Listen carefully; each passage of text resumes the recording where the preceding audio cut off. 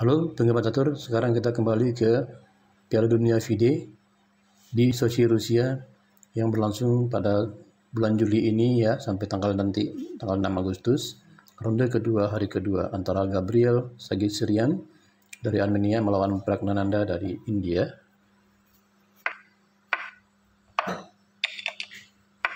Gambit Menteri diterima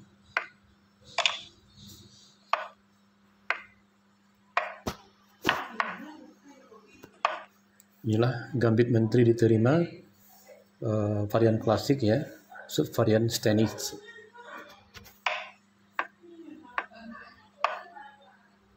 memang dalam pembukaan ini para Grandmaster di catur klasik itu memang sangat bisa berhati-hati ya.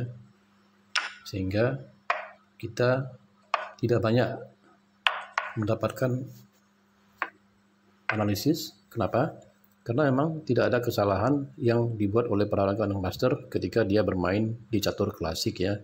Sangat sedikitlah kesalahannya seperti partai kemarin yang kami tampilkan antara Daniel Dubov melawan Gukes. Kedua-duanya chess prodigy ya atau mereka-mereka yang masih berusia belasan masuk ke papan atas dunia.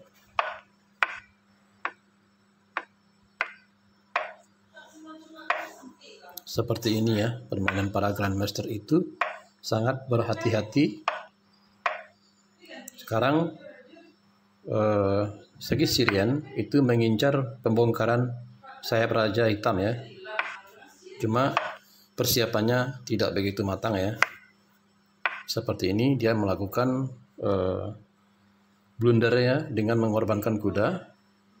Ingin main cepat aja seperti di catur kilat ya Langkah yang benar sebenarnya bagi putih adalah dia harus bersabar dulu ya, seperti ini. Nah, tukar menukar terlebih dahulu itu lebih bagus ya, lebih aman bagi putih. Seperti ini, dia bisa sebenarnya menguasai eh, ancaman-ancaman di diagonal uh, eh, B2 sampai dengan G7.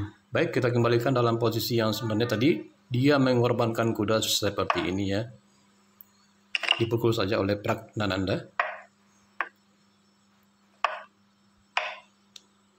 Nah, dia Pragnananda mulai melakukan blokade saja ya.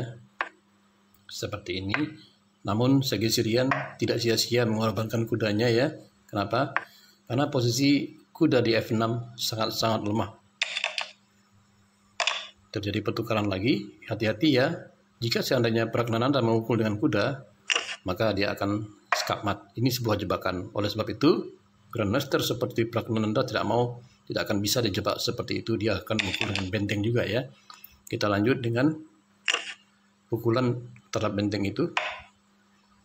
Menteri F3 dan uh, di sini Pragnananda yang melakukan langkah kurang akurat dengan memukul pion ya. Langkah yang bagus adalah coba kita kembalikan dulu seperti ini ya. Nah, dia bisa menetralisir serangan putih itu. Seperti itu ya. Jadi masih tetap unggul satu perwira. Baik, kita kembalikan dalam permainan yang sebenarnya. Seperti ini, Pragnananda memukul atau mengadu menteri ya. Skat.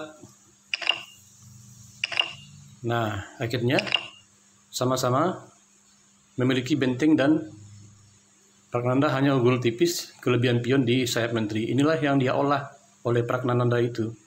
Seperti ini ya, dia adu, tak mau adu ya. Lanjut, di sini dia memainkan kesalahan ya, sebagai Sirian. Mundur, langkah mundur, mundur itu kurang bagus ya. Coba kita kembalikan langkah yang bagus itu, maju ya. Baru naik raja ke atas raja hitam ya. Baik, kita kembalikan. Seperti ini tadi, mundur mundur itu langkah yang buruk. Lagi-lagi sekarang giliran Pragnananda yang kurang akurat. Raja ke-7 nah di permainan akhir ini kita harus pandai mengambil tempo. Kita kembalikan dulu. Langkah yang bagus bagi Pragnananda adalah langsung aja kejar pion di A3 itu ya.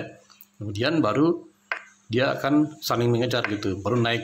Oke kita kembalikan ke dalam permainan yang sebenarnya tadi. Seperti ini. Raja naik. Kesempatanlah segi sidan untuk merobek atau mengganggu posisi pion-pion hitam di sayap menteri. Sehingga bentengnya bisa aktif di situ dan melucuti pion Pragnananda akan tetapi seperti yang kita katakan tadi, Pragnananda mesti memiliki kelebihan pion di permainan akhir ini ya, akibat akibat Gabriel tadi mengorbankan kuda panjang jadi cerita akibatnya kan. Seperti ini, lagi-lagi Gabriel um, memainkan langkah kurang akurat ya. Harusnya dia mainkan aja seperti ini ya. Oke kita kembalikan ke dalam permainan yang sebenarnya. Gabriel ke sini ya. Lanjut. Nah seperti ini permainan akhir seperti mesin aja gitu. Tidak bisa lagi dicegah pion itu menjadi menteri ya oleh uh,